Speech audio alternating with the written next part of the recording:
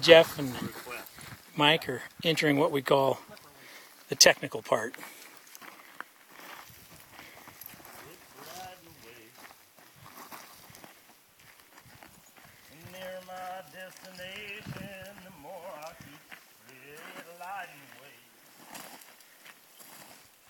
He goes over the edge down there somewhere, we hope.